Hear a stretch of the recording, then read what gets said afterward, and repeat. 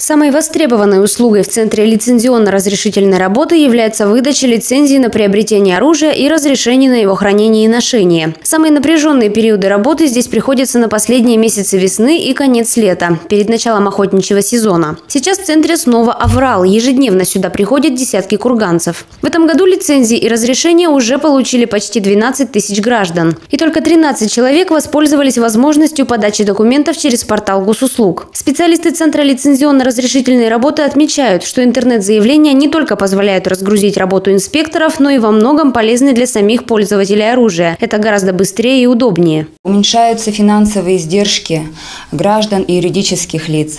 Ликвидируются бюрократические проволочки вследствие внедрения электронного документа оборота.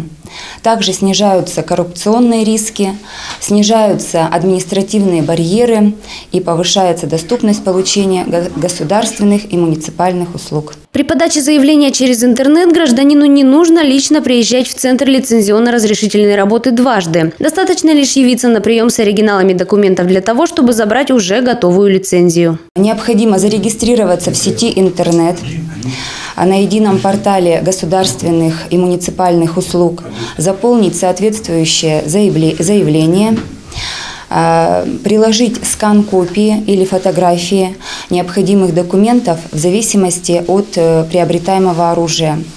По контактному телефону, указанному в заявлении, с вами свяжутся Дарья Федерягина, Никита Мухин, Светлана Пестерева, информационное агентство «Курган.ру».